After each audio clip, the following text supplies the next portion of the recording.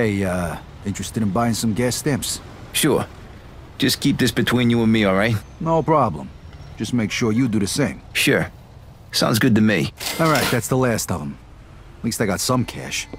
I should head back to Joe's.